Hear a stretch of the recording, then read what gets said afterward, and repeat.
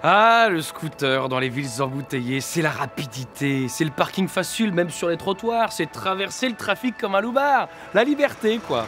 Mais disons-le franchement, ce choix de mode de déplacement n'est pas sans conséquences.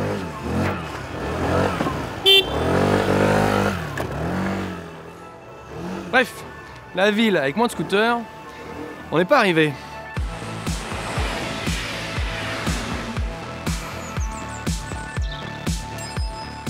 Si je vous dis scooter en ville, vous pensez forcément pétarade, rodéo sauvage, balade sur les trottoirs et les pistes cyclables avec ses doigts d'honneur en pagaille, mais étonnamment, c'est pas le plus grave.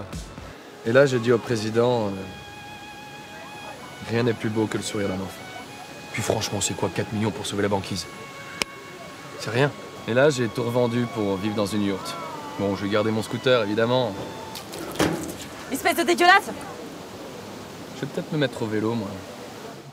Si les deux roues les plus récents sont relativement moins polluants qu'une voiture, les anciens le sont parfois beaucoup plus. Sans compter qu'ils ont un système de dépollution bien naze et qu'ils produisent un maximum de bruit, de 90 à 100 décibels, de quoi altérer franchement la santé des citadins que l'on croise. Bref, vous l'avez compris, le problème c'est pas le deux roues, c'est son moteur. Parce que le tout électrique en ville, il est parfaitement adapté. Seulement voilà. Je vous ai réunis aujourd'hui parce que vous êtes la fine fleur de la construction du deux roues, les princes de la mobilette. Et j'ai fait un rêve. J'ai vu des genres de scooters, mais silencieux, avancer en ville. J'ai vu des bornes pour se brancher et faire le plein, mais c'était pas du pétrole.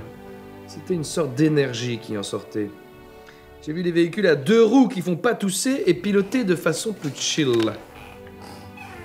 J'aimerais bien que ce rêve se réalise. Vous avez des idées?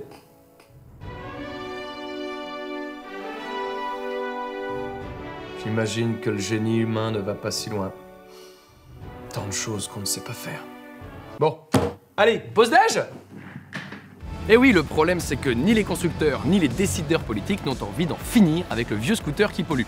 En plus, les modèles électriques sont souvent trop rares ou trop chers, bref, tout est fait pour ne surtout rien changer.